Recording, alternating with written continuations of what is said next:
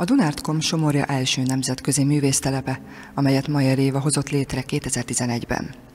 A művésztelep minden évben egy előre megadott témára épül, az idei találkozó címe Időkapszula.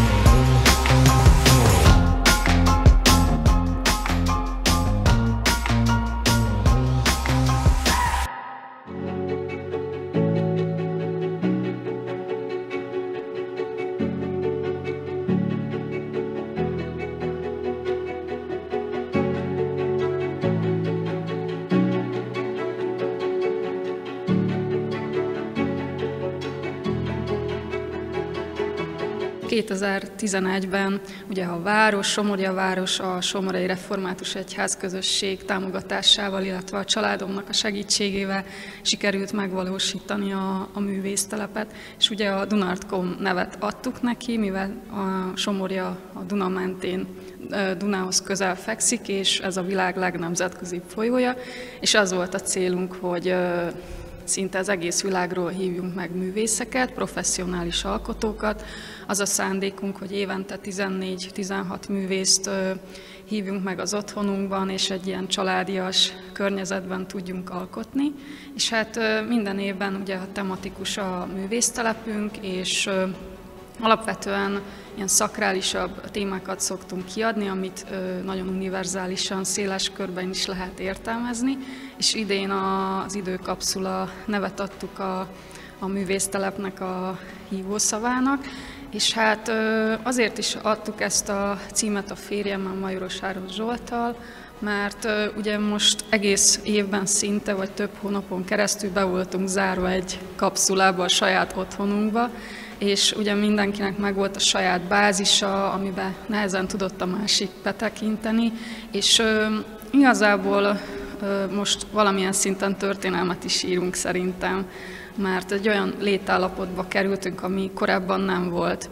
És hát ö, érdekes volt számukra az, hogy, hogy vajon a művészek hogyan dolgozzák fel mondjuk ezt a bezártságot, milyen üzenetet mondanának erről az időszakról másoknak, és az itt látható munkáknál érdekes módon megjelenik a természetközeliség, valószínűleg a kiszabadulás miatt.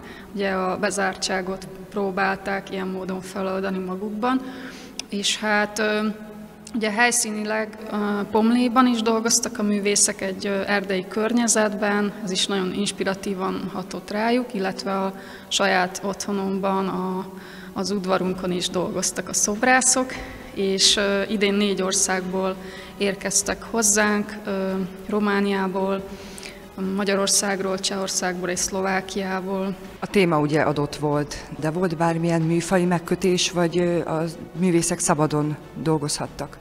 Sosincs egyébként műfai megkötés, teljesen szabadon értelmezhetőek a munkák, hiszen a művészet ugye szabad, mi se szeretnénk megkötni a művészeknek a kezeit, úgymond. Viszont van egy gyűjteményünk, a művésztelepnek 11 éve alakult egy gyűjteménye, amit viszünk további kiállításokra bemutatni, úgyhogy ilyen módon azért fontos számunkra, hogy legyen egy tárgyi része is, de minden évben vannak olyan munkák, amik adott esetben installációk vagy animációk. Idén mivel színesítettétek a bemutatót? Minden évben vannak szakmai programok, úgyhogy prezentációk a moziklubban, a művészek két napon keresztül meséltek, bemutatták a munkáikat a közönségnek. Ugye el, elmondják azt, hogy ők milyen módon, milyen technikával, milyen konceptuális szinten dolgoznak, vagy milyen témákkal, és megismerjük egymás munkásságát. És hát az utolsó előtti nap mindig záró kiállítással szoktuk bemutatni a közönségnek, hogy mi, mi készült a művésztelepen. Koncerteket szoktunk szervezni, színházi esteket, irodalmi esteket. Idén a Betika Szeptetet hívtuk meg, ők már több alkalommal szerepeltek Csalló közben koncertturnékon. Lényegében ez az öcsémnek az egyik zenekara, és innen a, a találkozás, az összefonódás. Angyalkám, révészem, vigyél által a vízen, Uramról maradott lovam néked adom, nem viszlek át a vizen, nem viszlek át a vizen, mert nagy zaj min a vízen.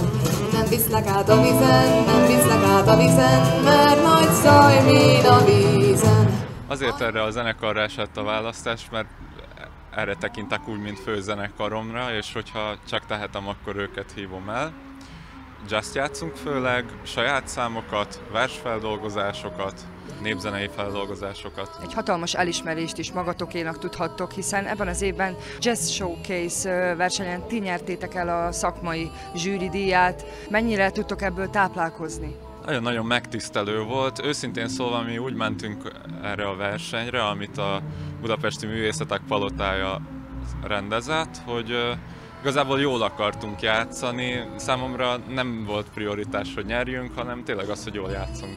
Tavalyi évben is készítettük interjút veled és a nővéreddel Évával a Dunártkon művészteleppel kapcsolatban, akkor viszont egy másik formációban játszottál. Hát a főzenekaromként a Bettika Quintetre tekintet, ezen kívül van egy egyházzenei és népzenei formációm a Sakra Folk, tehát hogy ez a, ebben a kettőben vagyok állandó tag, és rengeteg olyan formáció van, amiben beszoktam ugrani. A tavalyi folk zenekar az olyan volt, hogy, hogy ott állandó kisegítő vagyok.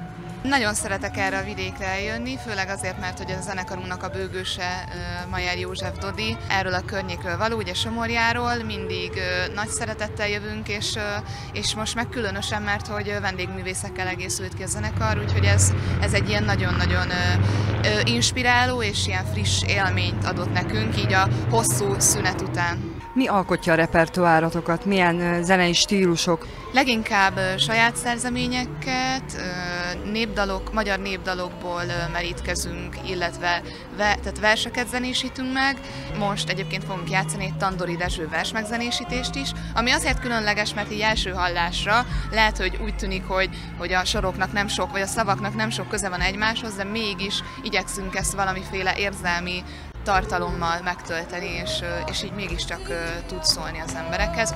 Alapvetően a vers is szól, csak igyekszünk ezt a zenével még inkább egyértelművé tenni, és még inkább egy kapcsolatot keresni az emberekkel. És mivel mindannyian így, a, főleg a jazzből jövünk, ezért az improvizáció az így minden dalunkban jelen van. Ha nem is egy elkülöníthető hangszeres vagy énekes szólóban, akkor, akkor akár így az előadásmódban is ez jelen van. 2015 óta szórakoztatod a nagy érdemű közönséget jazzmuzsikával. Miért erre a műfajra esett a választásod? Miben rejlik ennek a műfajnak a különlegessége szerinted?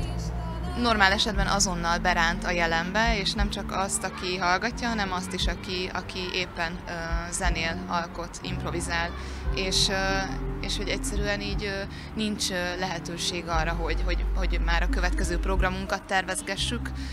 Rengeteg energiát ad, tehát hogy, hogy én azt szeretem a legjobban ezben a zenekarban is, hogy, hogy érezzük, ahogy így pumpáljuk magunk alatt az energiát, és így szállunk, szállunk, szállunk föl, és nagyon nagy feloldódásban van részünk. Mit gondolsz, milyen a jazz fogadtatása manapság? Mert ugye azért egy réteg zenéről van szó, nem mindenki találja meg benne azt a különlegességet, amelyről te beszéltél. Te mit tapasztaltál az elmúlt évek során? Minél több szálon tud hozzá kapcsolódni, annál otthonosabban érzi magát, de, de valahogy szerintem ezt lehet gyarapítani, mint ahogy én magam is ezt gyar, gyarapítottam fok, fokozatosan, folyamatosan, és, és jelenleg összeállt bennem valami, ami nekem a jazz jelenti, de ez még biztos benne, hogy nagyon sokat fog változni az következő évek során. Borondos vízmartja